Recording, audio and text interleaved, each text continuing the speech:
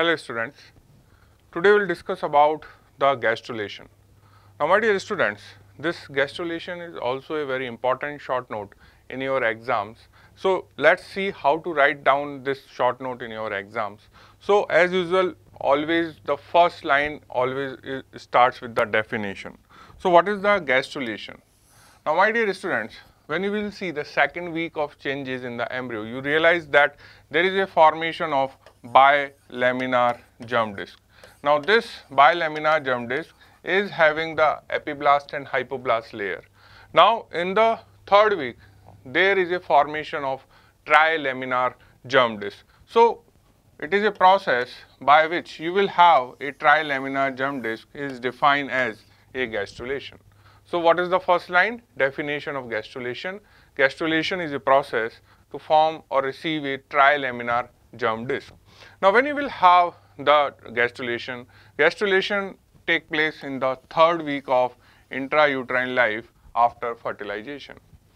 Now there is a one very important question you have so many times that what is the first sign of morphogenesis? What do you mean by morphogenesis? Morphogenesis means that formation of body form. So body form formation starts with the gastrulation. And when you will see the gastrulation, there is a very important structure which appears is known as primitive streak. So there are two different questions. If you will have the question that which structure appears first, answer is primitive streak which is a sign of morphogenesis. And if you will have that which is a first sign of morphogenesis that is gastrulation. Now when you will talk about the gastrulation, what is the process of gastrulation? So my dear students, for the gastrulation, you will have first formation of primitive streak.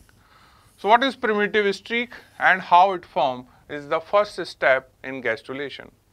So primitive streak is nothing but it is a thick linear band which is formed by the epiblast cells. So this what is the uh, question? Question is that primitive streak formed by which cells? Answer is epiblast cells. So, you know that this is your disc, bilaminar germ disc. Now, on one side you will have the amniotic cavity, on the other side you will have the yolk sac. Now, you are seeing this from above. So, for that if you have, you have to remove this amniotic cavity.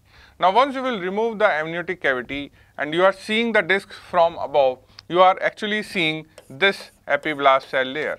The hypoblast will come on the lower part which is facing towards the yolk sac.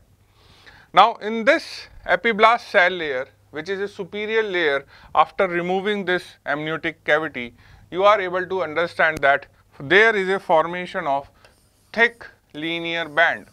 But where this linear band will form? This linear band will form in this midline somewhere. So whenever you are writing about the primitive streak, you have to first write down that primitive streak is a thick linear band. It is produced by epiblast cells, but what is the position? It lies in the midline. But in the midline, it is not lying in the whole length of the midline. So where you will find this, if you will see the formation of primitive streak, it will form in the caudal part of your disc. Clear? So where it is present? It is, is a thick linear band. Second, it is formed by epiblast cells. Third, it is a midline structure. But here, the word caudal is very important because the primitive streak will not appear in the anterior part. Now, you know that in the anterior part, you have already seen there is a formation of prechordal plate in the second week. So, it is not forming in the area of prechordal plate.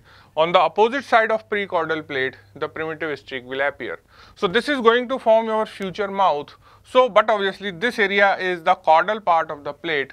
That's why you have to use this word that primitive streak form in the midline, but in the caudal area. Now, the another thing is that it is on the dorsal surface because the epiblast cell layer is a dorsal surface and the hypoblast cell layer which is facing towards the yolk sac is a ventral surface of the disc. Now, the another question comes is that it appears on which day Answer is 15th day because we are entered into the third week of development and the third week means we are talking after 14 days. So it is appearing on the 15th day of intrauterine life from fertilization. So my dear students, these are the few points which you have to remember while writing the short note on the primitive streak and gastrulation. Now the appearance of streak induces the process of gastrulation. So it is acting it acting as a inducer and inducer means that with the help of the primitive streak the gastrulation process starts. Now it decides the cranial and caudal axis, it decides the ventral and dorsal surface, it decides the right and left side of the disc. So this is become the dorsal surface, this is the ventral surface, this is your caudal part, this is your cranial part and if this is my dorsal side then this is your right side of the disc and this will become the left side of the disc. So my dear students, these are the important facts which you have to write down in your exam while writing the short note. Now what is the second procedure? In the second step, in the primitive streak, there is a appearance of a enlarged or dilated area is known as primitive node. So this is your embryonic disc. In the disc, you have, there is a formation of primitive streak in the caudal part. Now what will happen that on in the uh, anterior end of this streak there is a thickening or dilatation appears. So this elevated anterior end of the primitive streak is known as primitive node and these cells of primitive node also comes from epiblast. Clear? So what is primitive node? Primitive node is nothing but it is anterior end of the primitive streak which enlarged and these cells are also come from epiblast cell layer and it also lies in the midline and the primitive node is also known as Hensen's node. Clear? Now the third step is the formation of primitive groove and primitive pit into these two structure. Now my dear students, what is happening here that this is your embryonic disc. Now in the disc you are having a streak. So this is your primitive streak. Now in the streak anterior end is having the dilated area is known as primitive node. Now what will happen? There is a appearance of a narrow groove and on the sides of the groove you are having the bulgings and this in, is formed by the invagination and this is known as primitive groove. So what is happening? Now this is suppose this is your cut section of primitive streak. Now in the center there is invagination occurs. Now once the invagination occurs you will have a depression or a groove. Now this groove is present in the whole length of the primitive streak and this groove is known as primitive groove. Now in the same manner, this is a node. So in the node, what will happen? There is a small depression will appear and this depression is known as pit. So a depression also develop into the uh, node and this is also known as blastopore and blastopore or the pit continue with the groove. So my dear students, we have uh, till now three steps. First, there is a appearance of the primitive streak then there is a formation of the primitive node, then there is a, a formation of the groove and the pit into the streak and the node. Clear? Now in this diagram what you are able to understand that the first thing is the shape of embryonic disc. The shape of embryonic disc is a pear shape. It is not circular, it is elongated as the growth is going on. Now here you can see that there is a appearance of this primitive streak and this dilated end of the streak is known as node and you are seeing this from the dorsal surface of the amniotic disc after removing the amniotic cavity. Now, the fourth and very important step is migration of epiblast cells. Now, this is the very, very important step in the formation of gastrulation.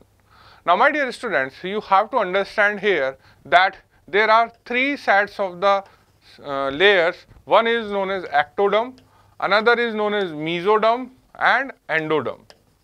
Now, when we are talking about the three layers of the germ disk, you have to understand that all the three layers arises from epiblast. What is the source of the three layer? Answer is epiblast. So now what will happen that the cells of the epiblast migrates. The cells of the epiblast migrates and they will give rise to the two cell layer, one is endoderm, another is mesoderm. And the non-migratory cell of epiblast form the ectoderm. So what we are going to do first here that we will divide the epiblast cells into the two sets migratory cells and non-migratory cells or you can say invaginated cells and non-invaginated cells. Clear? Now, there is a one more important thing is that once the epiblast cells proliferate, now they start migrating towards the streak and migratory cell then detach from the streak and move inwards through the streak. Now, what is the meaning of this? Now, here in this image, you can see that this is your long columnar cells which are the epiblast cells and these are the flat cells of your hypoblast cells. Now my dear students, I am saying one very conceptual line again and again that epiblast is going to form all the three germ layers. Now here you have to understand that epiblast cell layer migrates and these migrating cell have two sides or you can say future in form of mesoderm or endoderm. Now, suppose this is the cell of epiblast. Now, these epiblast cells, if they have to form the endoderm, they have to first come towards the primitive streak and then they leave the streak and then comes downward into the area below the epiblast. So, what is the meaning of this sentence that there is a one door and through that door all the epiblast will leave and what is the name of that door is primitive streak. If the cell has to come out, the cell cannot go down like this. The epiblast cell cannot go down like this. They have to pass through the streak. This is the only door or you can say the gate or you can say the exit into the epiblast layer and through this exit or the door the cell has to pass. The cells have no other option, they cannot go down directly. The every cell of the epiblast has to migrate towards the primitive streak, then they have to invaginate through the primitive groove and then they will leave and comes below the this epiblast cell layer. So my dear students, whenever you are writing the migration of epiblast, you have to keep this thing in mind that first epiblast cells proliferate and once they proliferate, all the cells migrate towards the streak. They will migrate towards the streak. Now what will happen? These migratory cells detached from the epiblast and then they will have inward movement which is known as invagination. Clear? And now these cells leave the deep surface of primitive streak and these are pluripotent in nature. This is again a question of your exam. Clear? So now in this image, what you are able to understand that I just explained you that when we are talking about the cells of epiblast, now these epiblast cell layer will first proliferate. After proliferation, they will migrate towards the streak, then they will leave the streak, now they will come below the epiblast cell layer once they will get detached.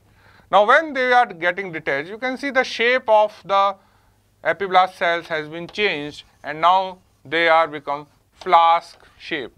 They are no more columnar in size, they are now flask shape. Clear?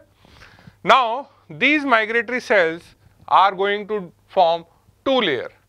The first thing is that if these migratory cells will start to replace this yellow color line of hypoblast, which you can see here, which you can see here.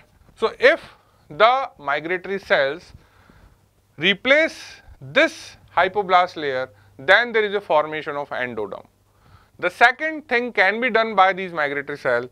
They will set in this area between the epiblast and hypoblast and they will form the mesenchyma and mesenchyma further give rise to the mesoderm.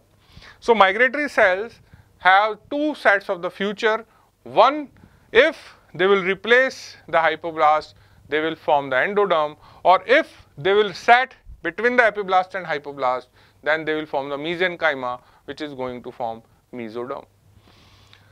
So, there are three germ layers. So, how the endoderm will form? Endoderm will form the invaginated cell, displace the hypoblast and they will form the definitive endoderm. So, there are two things that migratory cells first form the endoderm or mesoderm, answer is endoderm. That is why it is said that the first layer which form in the embryo is endoderm. Now, the remaining invaginated and migratory cells, what will happen? They lies below the epiblast and once they lies below the epiblast, they will give rise to the formation of intraembryonic mesoderm. Now, this intraembryonic mesoderm comes from the mesenchyma and this mesoderm give rise to the different derivatives in the adult human being. While the non-invaginating or non-migratory cells of the remaining epiblast will change and these cells are going to form your ectoderm. Clear? So, now it is clear to you that we have divided the cells into the two set. These are the migratory cells or you can say invaginated cells and these are the non-invaginated or non-migratory cells. Now, what do you mean by invaginated cells? The cells which are passing through the primitive streak and then lies below the epiblast cells layer. Now, the cells which are lying below the epiblast can form the endoderm or mesoderm. So, if they are replacing the hypoblast, then it is going to form endoderm or if they are going to set below the epiblast, they are going to form your mesoderm. So, what are the points to remember? There are two places where mesoderm is absent. One anteriorly, which I already told you, is the prechordal plate area, which is a future mouth where you will have buccopharyngeal membrane. The second part where the mesoderm is absent is known as cloacal membrane, which is a future anal opening. So, these are the two areas where you do not have mesoderm. The initiation of primitive streak is controlled by which gene? Answer is nodal gene. Clear? So, these are the some points which you should remember for your exam point of view. Then there is a applied aspect regarding the gastrulation. This question is also important that if the primitive streak remnant will persist, then what is the disadvantage? Generally, my dear students, what will happen that primitive streak is going to disappear by the end of fourth week. So this is again a question that when the primitive streak disappear, answer is by the end of fourth week. But if the remnants of primitive streak persist, it is going to form a germ cell tumor which is known as sacrococcygeal teratoma. So my dear students, it is a area which is known as sacral region and coccygeal region. So when the baby will, will born, the baby is having a congenital defect into the sacrococcygeal region which is known as sacrococcygeal teratoma. So, what is the cause of sacrococcygeal teratoma? Sacrococcygeal teratoma occurs if the remnants of primitive streak persist. Now, it is a kind of germ cell tumor. Now, because the primitive streak cells are pluripotent in nature, so you are having the products of ectoderm, endoderm and mesoderm inside this teratoma, but they all are in the incomplete differentiation. So, they are incomplete differentiated mass or different tissues are seen like nail burrs, like hairs, like other part of the body tissues you may find into this sacrococcygeal teratoma. Now, sacrococcygeal teratomas are more common into the female babies and the incidence is 1 in per 37,000 birth. Clear? So, my dear students, now at the end of this lecture of gastrulation, you should have idea about what is the definition of gastrulation, what is the time of gastrulation, what is the initiating factor of the gastrulation, what is primitive streak, primitive node, primitive groove, primitive pit. And the most important thing which is required for the formation of the germ layer is migration of epiblast cells and epiblast cells migratory cells are going to form first layer is endoderm, then mesoderm and non-migratory cells give rise to the ectoderm. So, this is all for the gastrulation. Thank you.